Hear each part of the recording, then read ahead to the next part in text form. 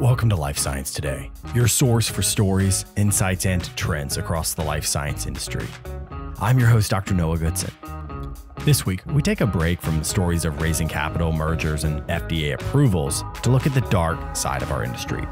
What happens when companies fail, people lie, and good drugs make bad lives?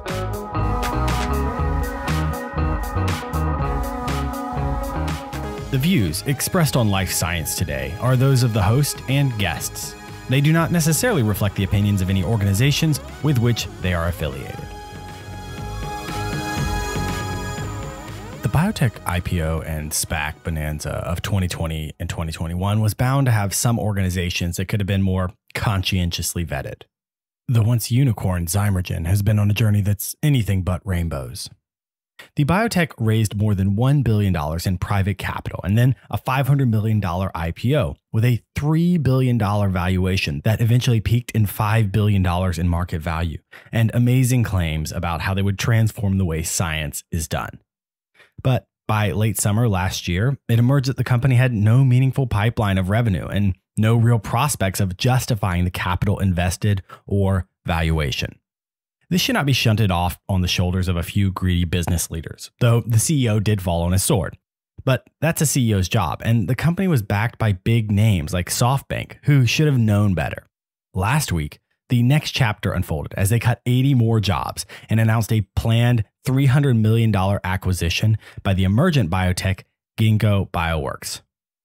Now, both of these biotech organizations sit in a much broader area of biotechnology than simply health innovations, including work in agricultural innovations and Zymergen's folding phone screen technology and more.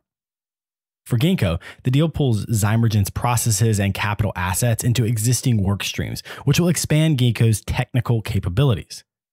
Ginkgo themselves is no stranger to litigious circumstances and stocks falling from grace, being down 80% from their peak and have faced down their own resistance from efforts to short their stocks by questioning the stability of their own revenue streams.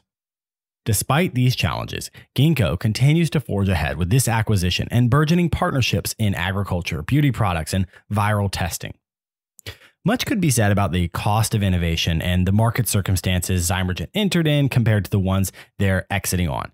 But at the end of the day, Zymergen is currently a case study in just how rapidly biotechs can turn $1.5 billion into $300 million.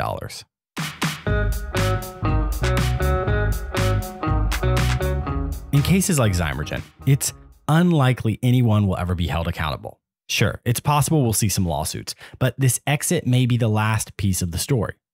But for other biotech startups, the consequences can come home much more directly. This may be the case for Cassava Sciences, who is currently under investigation by the Department of Justice for potential scientific fraud, or to be more specific, using fraudulent science to defraud investors. I want to contrast this from the Zymergen example. Zymergen is more than likely the failure of multiple systems. At least looking from the outside, investors, leaders, product issues all collided with real delivery challenges to create their downfall. Cassava is a very different story.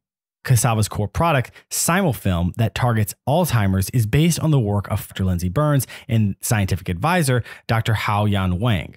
But over the last year, a number of independent sources have revealed likely fraudulent work, particularly by Dr. Wang.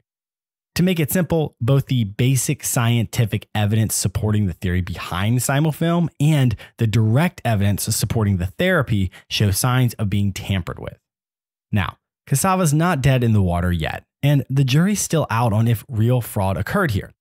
Plus, some of the allegations are coming from those trying to short Cassava's stock, so certainly a vested interest. But if fraud did occur, you can absolutely expect significant fallout. I think it's worth noting that in cases of scientific fraud, a group of very few players is often responsible a couple of scientists with questionable ethics and a willingness to convince others of their pet theories using contrived data. But if they ever do meaningful research, they're often eventually caught. And that's because science is basically a self regulating group. Scientists are usually the ones calling out scientists. So, in the case of Zymergen, you have a system failure costing investors at least $1.2 billion, but to date, there are limited legal ramifications. But when cassava has alleged direct scientific fraud driven failure, then legal investigations are quick to follow. Perhaps it bears thinking about the ways we are far better at individual rather than systemic accountability. In our final story of fraud and failure in the life sciences, we look at Teva, the Israeli pharmaceutical company most known for the creation of a number of generic opioids, but who has a wide range of additional generics on the market. During their earnings report this quarter, they announced a plan to settle all outstanding opioid related lawsuits in a $5 billion 13 year fell swoop. The plan includes $3.7 billion in payouts for various lawsuits and the provision of $1.2 billion worth of the generic opioid overdose medication, naloxone hydrochloride nasal spray. Whether a settlement this sweeping will be approved and absolve a company of its legal culpability is yet to be seen, but it appears to be the only feasible mechanism of collective responsibility. In other instances, companies like Purdue Pharma converted to nonprofit entities to sequester those that made the money from ongoing legal ramifications. And indeed, how do you hold a medical system accountable for the rippling impact of misuse and abuse? In Teva's case, they have major lawsuit losses, including a $1.5 billion loss in the state of New York and several million dollar losses across the South. And they're currently appealing some of these cases. To resolve this ongoing challenge, they're asking if $5 billion would be enough to get them out of this legal purgatory.